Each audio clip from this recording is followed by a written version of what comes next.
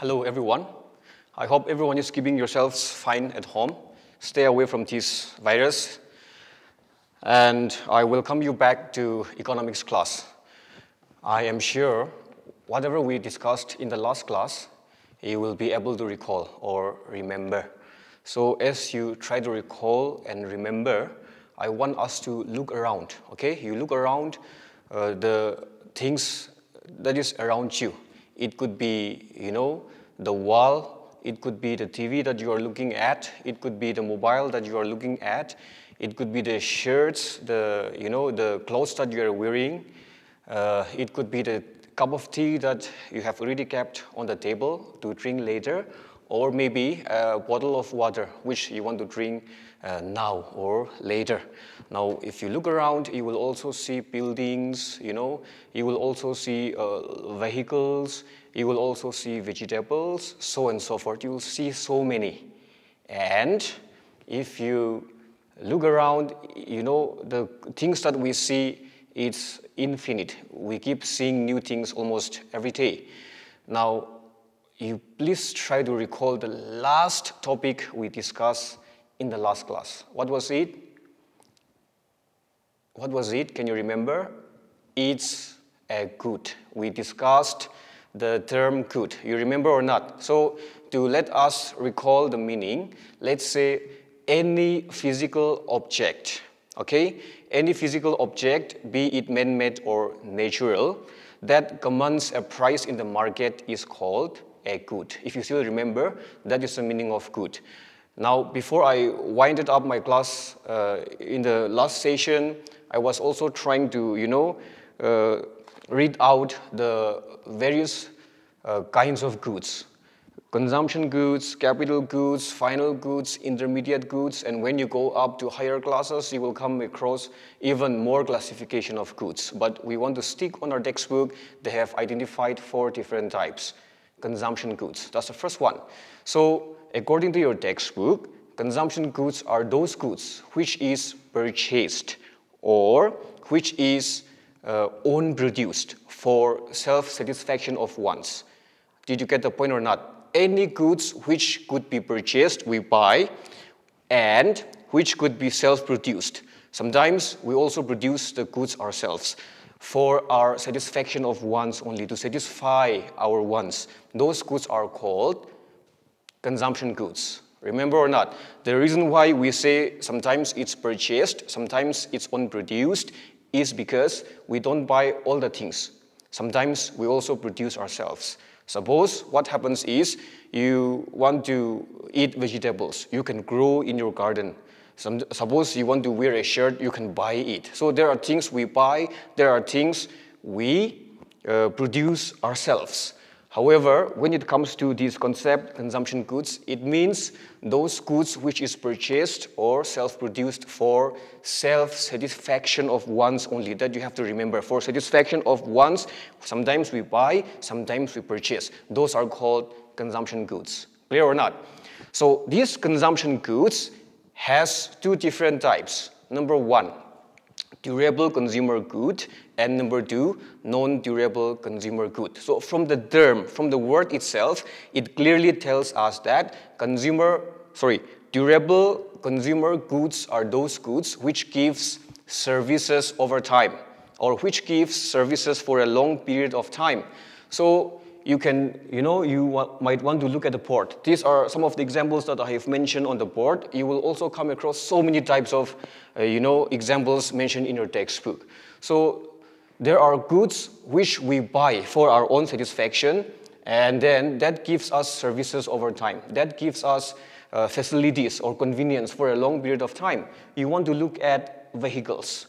You know, the kind of car, the kind of vehicles that your parents purchased 20 years, 30 years back, we are still using it, or not. The kind of, uh, let's say, furniture that uh, your parents bought during your birthday, first birthday or second birthday, we are still using it. We are still sitting on it. And in fact, you are also sitting there now and watching this video, or not. Likewise, tools and implements. These are also, uh, I mean, uh, these are also goods which gives services for a long time. You know a dao which you can use it for a long period of time. Any kind of tools, it can be hammer, it can be, you know, any kind of implements that is used in the construction of a building, you use it for a long period of time. You know, you look around, you want to store your vegetables for, a, for, for maybe two, three days. So what you do is you buy a fridge and you store it there. It can be kept for a long time or not. Are you getting the point or not? So these are some of the example of durable consumer goods. Those goods which gives services over time or for a long period of time will be called durable consumer goods. Second one is non-durable consumer goods. From the term itself, non-durable, meaning a good which cannot be used for a long period of time. A good which is completely used up at the time or at the moment of use. Those are called non-durable consumer goods. You look at the board, food. The food that you eat now is never coming back anymore. It will go into your stomach and then it goes down, or not. So there are goods which are completely used up at the time of use, and those are called non-durable consumer goods. And therefore, non-durable goods are called single-use good. Single-use good. Why? It is a single-use good because the good that you use now is never coming back anymore. The cup of tea that you have kept on the table to drink, you see, you drink it. After drinking the cup of tea, do you think it will come back again to your cup? No, that's never happening. The, the, the bottle of water that you kept on the table to drink, you drink it, you empty the bottle and see if it will come back again. No, or not. So vegetables are also some. You eat, fruits are also some. You eat and then it is gone. It's never coming back anymore. And therefore, those goods which are completely used up at the time of use are called non-durable consumer goods. I hope it's clear.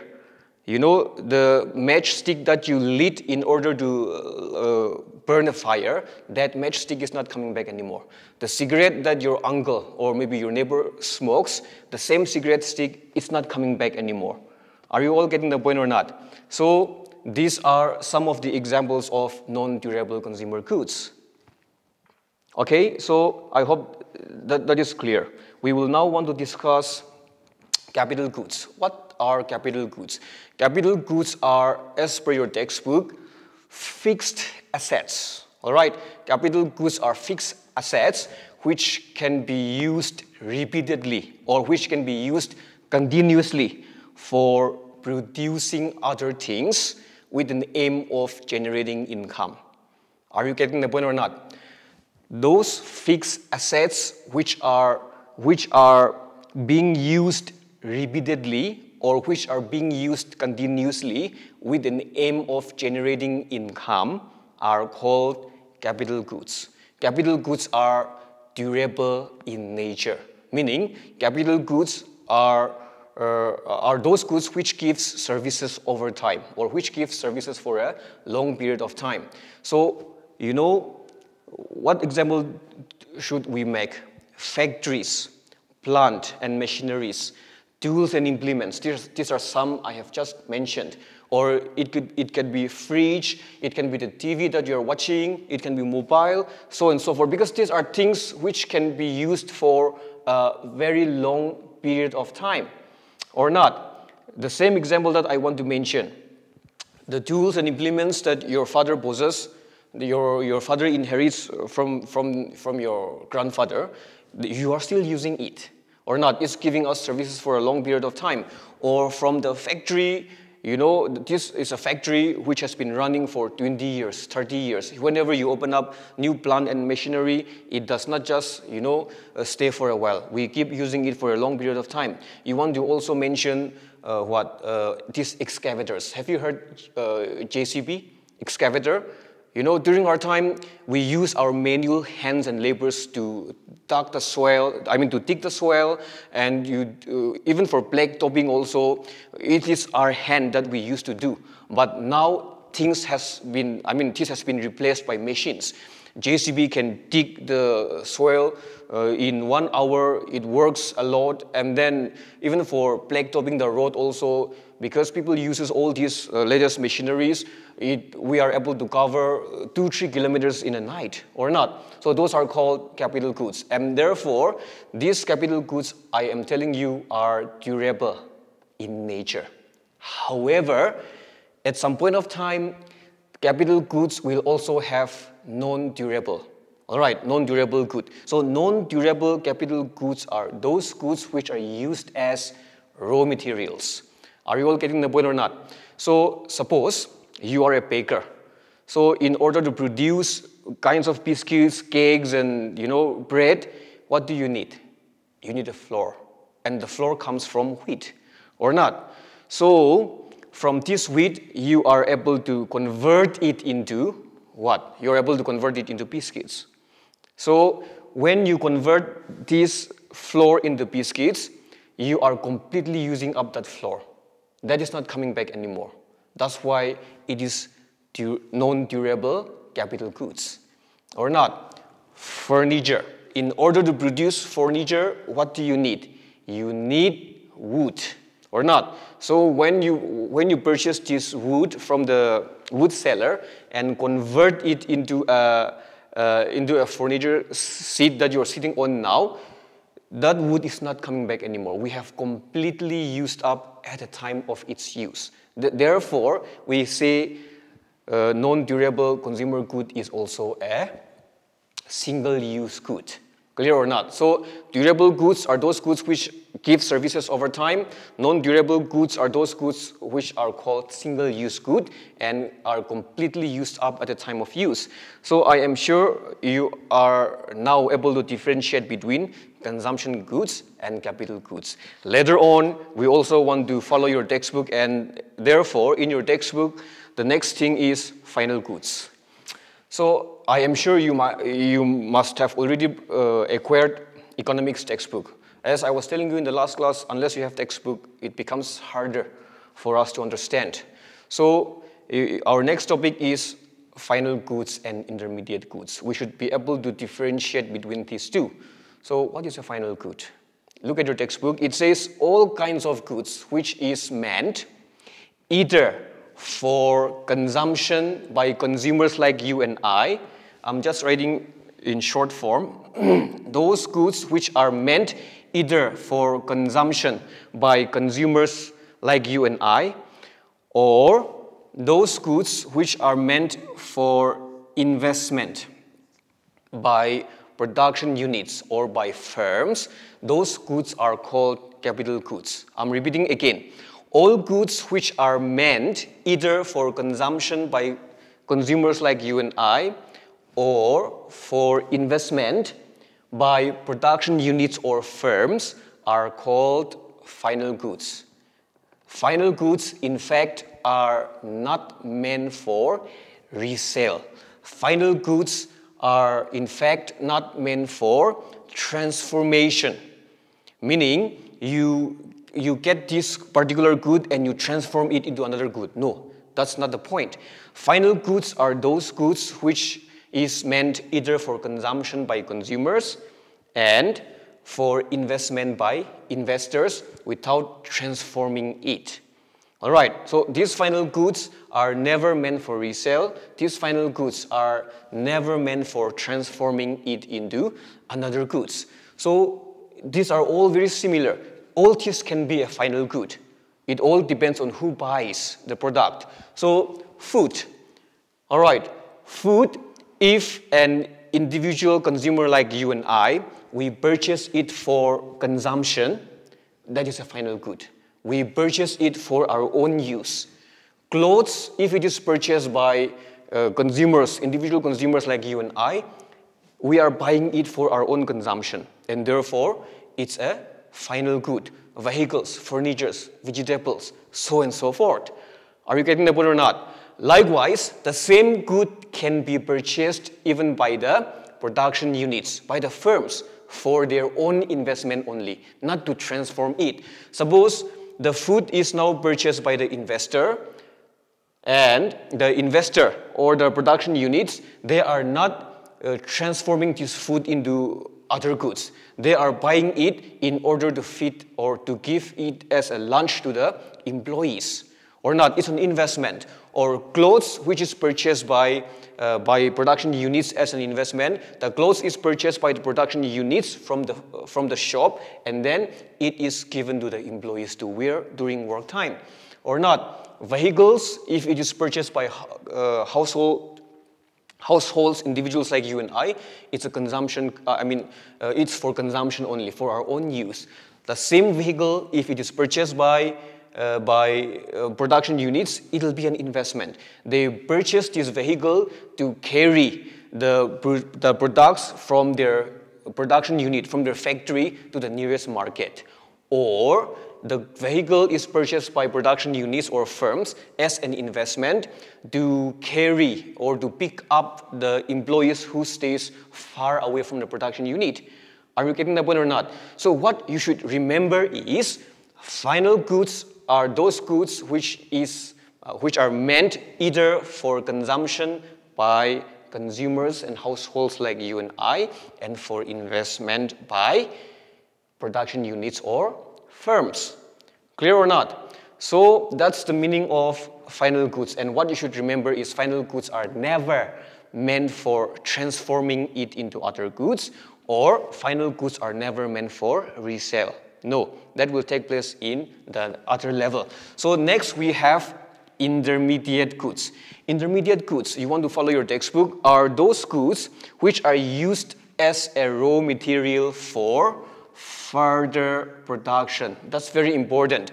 So intermediate goods are those goods which are used as a raw material for further production of other goods and is to be resold in the same year. Are you getting the point or not? Suppose in 19, sorry, we are already in 2000. So suppose in 2019, a production unit purchases this vehicle. A production unit purchases this vehicle and then he sells it in the same year in 2019. A, a dealer, a car dealer purchases this vehicle in 2019 and the same vehicle is sold out to the customer in the same year. That is an intermediate good because the good has already been resold in the same year it was purchased. Getting the point or not? Likewise, intermediate goods are those goods which are used up as a raw material for further production. So, in order to produce furniture, what is the raw material we need? You look around, what do we need to produce a wooden furniture? We need a wood a tree. We have to chop down the tree, convert it into wood, and then it is converted into furniture. So a production unit will purchase the, the wood from the wood cutter and then converts it into uh, furniture. That is, further production of good is taking place. And therefore, this situation is called intermediate goods. A baker, in order to produce uh, types of biscuits, types of, uh, you know, all these kinds of eatables that we get in a bakery, what does he need? He needs a flour. It comes from wheat. So he purchases the flour and then he converts, he reproduces, further produces it into ready-made products. Those are called intermediate goods. And therefore, for one mark, intermediate goods are those goods which are used as a raw material for further production of other goods and is result in the same year. Or as, uh, as we follow your textbook, or for resale in the same year. So you purchase all these, you resell in the same year, that becomes intermediate goods. You purchase the raw material, I mean you purchase the raw material, you convert it into a ready-made product. That is still a, an intermediate good. All right, sometimes it's confusing. And therefore, what you should remember is the significance.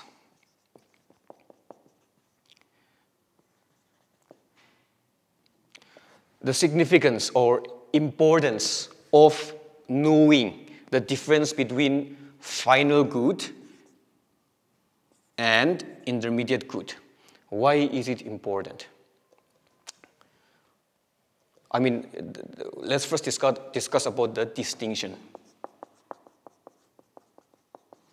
We will discuss about the distinction between these two, and later on we will discuss about the importance or significance. Why should we be able to distinguish between these two goods? Why?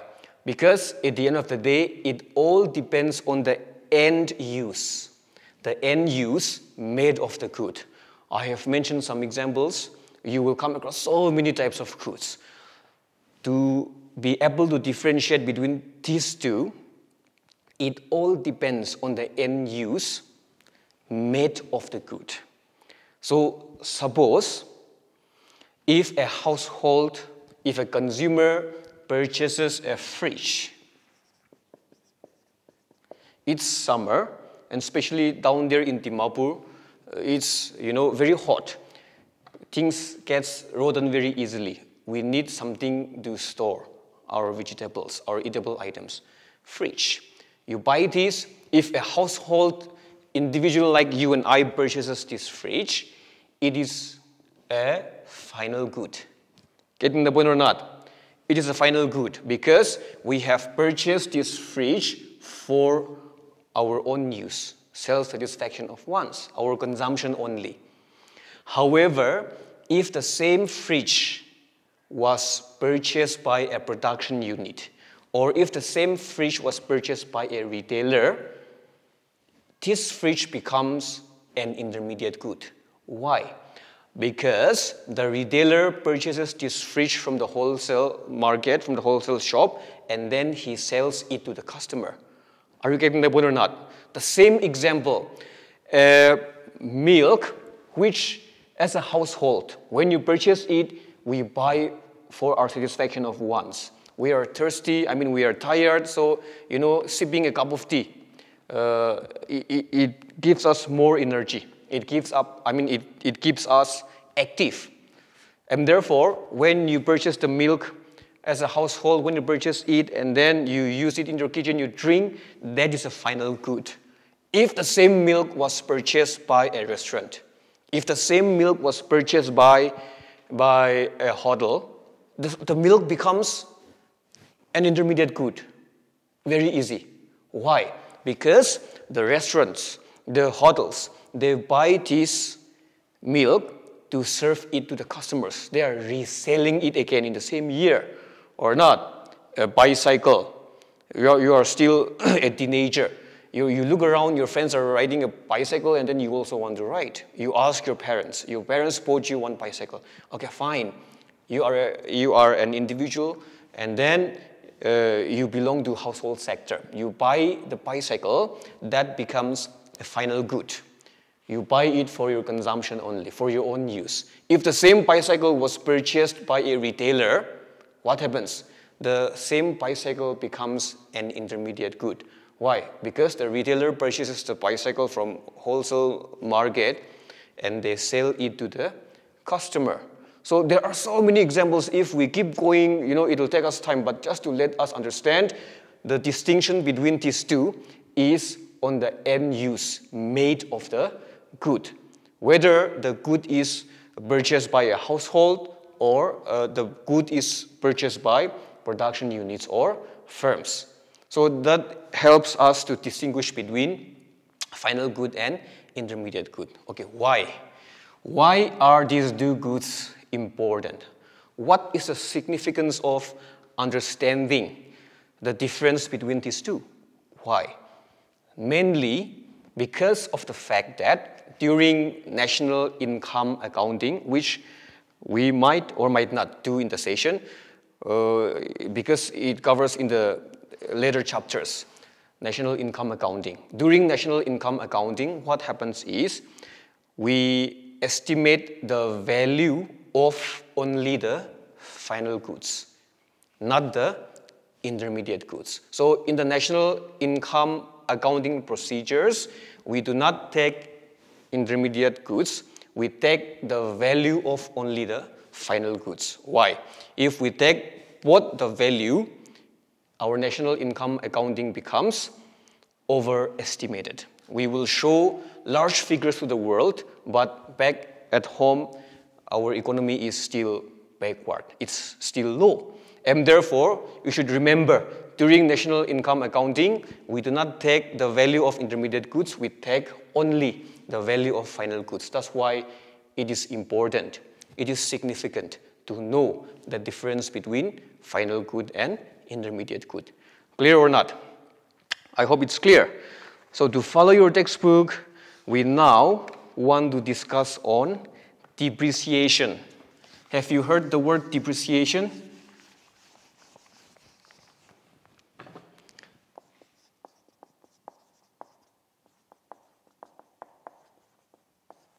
Depreciation is a very important word in economics because uh, very often you will come across this uh, even during national income accounting also. What is depreciation? It simply means, it simply means fall in the value of fixed capital asset. Are you listening or not? Please try to listen. Please don't look around. You try to focus.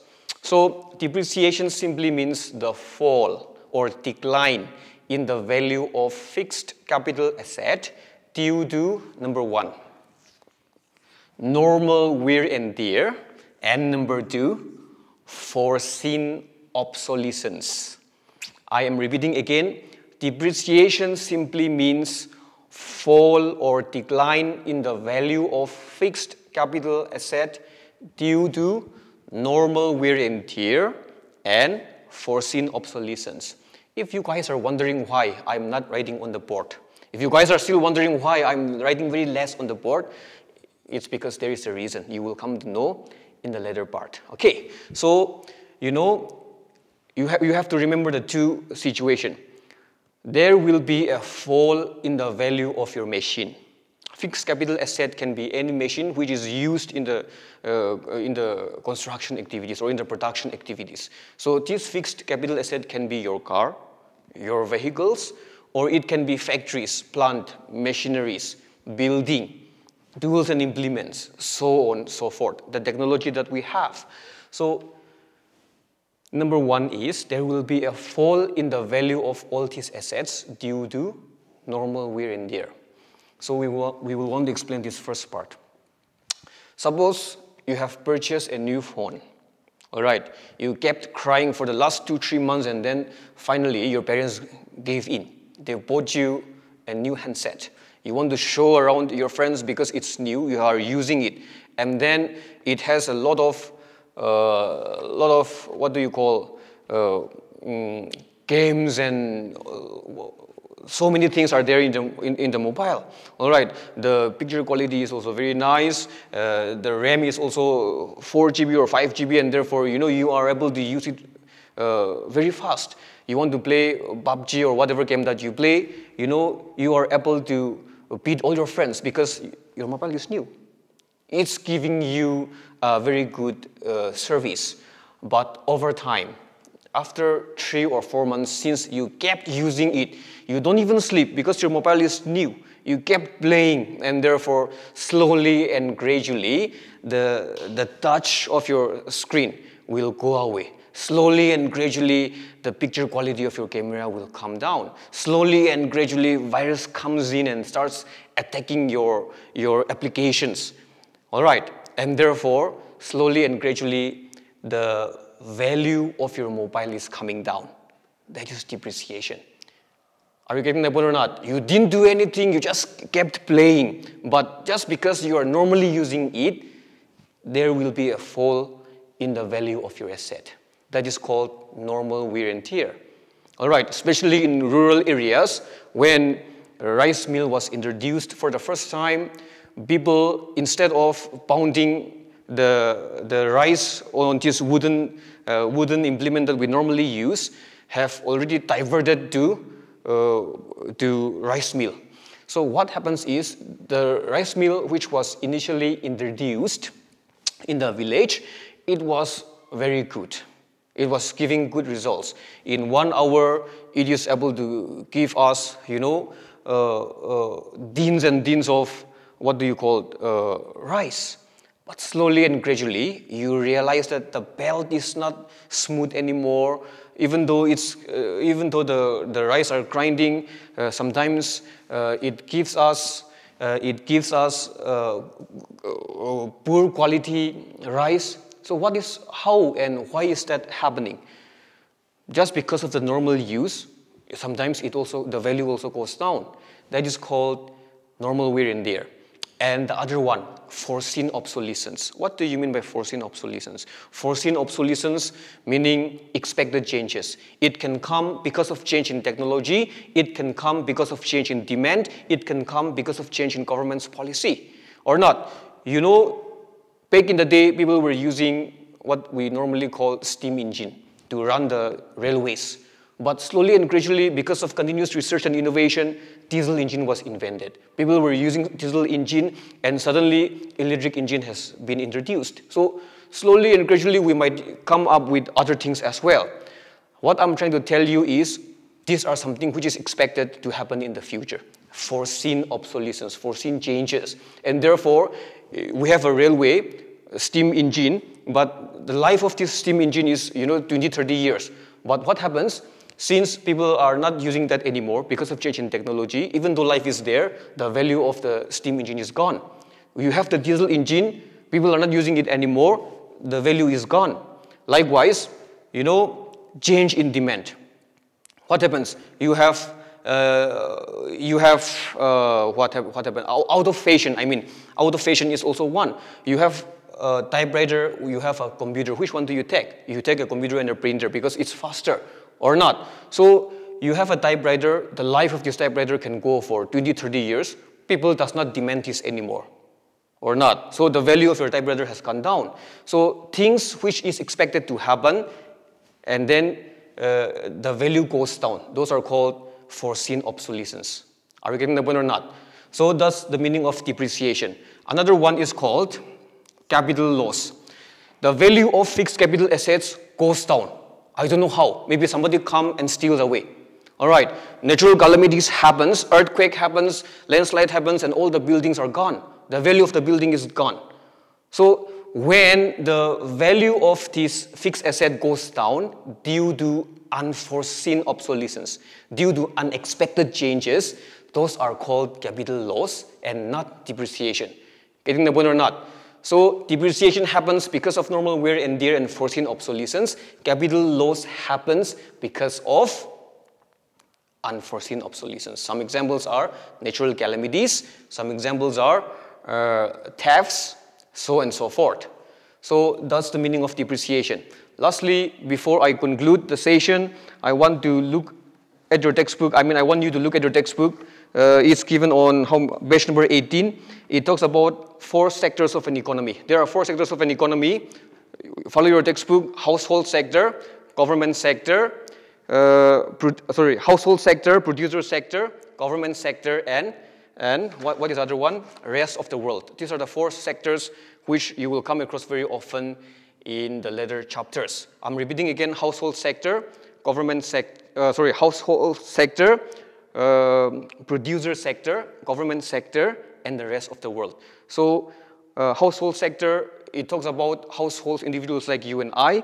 Uh, pro production sector, it talks about all the production units, uh, production firms which hires factors of production, and then government sector, which maintains law and order, uh, defense for the welfare of the people, and lastly, the rest of the world, to where our country does exports and imports to and from. Getting the point or not? So these are the four factors of production. In the next session, we will talk about commercial banking, commercial banks. So if you have time, you please want to go through once. Thank you.